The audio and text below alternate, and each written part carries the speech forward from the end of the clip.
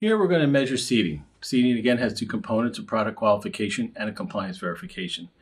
So we're going to start with product qualification. And again, this should be done in a humidity controlled environment of 23 degrees C and 12% relative humidity. Obviously, we're not in a chamber, but the measurements don't differ. First, I want to check the system to make sure that it's capable of making measurements up to 10 to the 11th. I have it on an insulator right now. It's all connected. I'll take the meter. And you can see we are definitely in the 10 to the 11th range. The reason that I use 10 to the 11th at the upper range is if you look at the seating document, seating standard itself, it says you have to have a meter that's capable of measuring 10 to the 11th. The limits for seating you'll find in, of course, 2020, which is this standard. Now, if you're just doing compliance verification, which is TR53, this TR says you only have to have a meter reading one order of magnitude above your limit.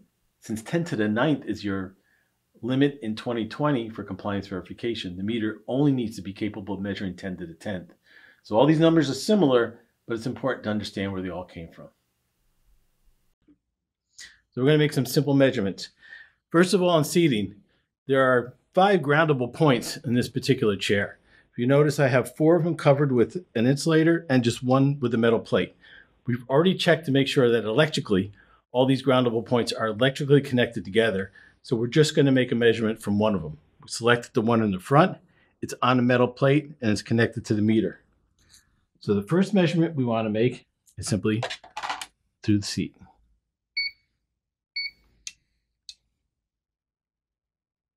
And it meets our requirements. Next, both arms.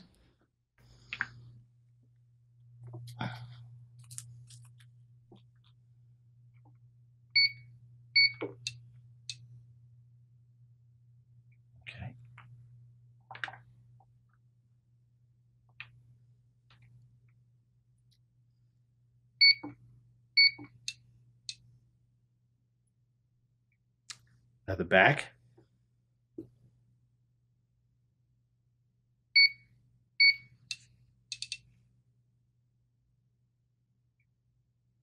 And finally, the chair rail at the bottom.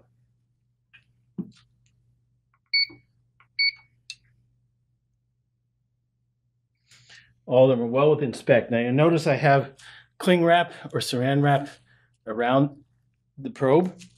And it's simply to make sure that I don't influence the measurement. I keep it insulated between myself and the probe. Some probes do have a slightly conductive covering on them, so we want to make sure that we're totally insulated from making this measurement. To show you the effectiveness and why we put the saran wrap on here, we'll do a quick demonstration. I have my ESD control shoes on through an ESD floor that's grounded. I'm picking up the probe with the saran wrap, and I'm going to take a measurement. Ideally, I need to be above 10 to the ninth should be in the 10 to the 10th region to make sure I don't influence the measurement. So we take the measurement and as you can see we're in the 10 to the 10th measurement means we're at least one order of magnitude above what we need to do. Let me take the saran wrap off and show the effect of just grabbing the probe by itself. I now remove the saran wrap and just holding the probe in my hand. Notice I'm not touching the bottom at all. So we take a measurement now. We're actually measuring the resistance through me, through the floor, through my shoes. We're measuring 10 to the 7th.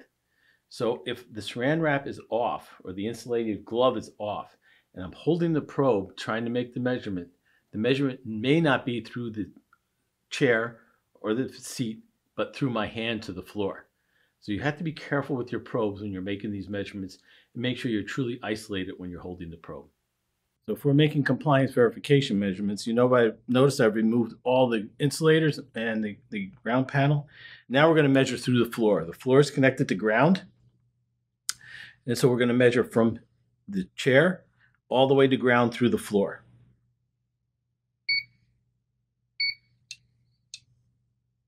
And that's the only measurement you need to make for compliance verification. And again, compliance verification is done in ambient conditions. So wherever the chair is, you make the measurement as you find it.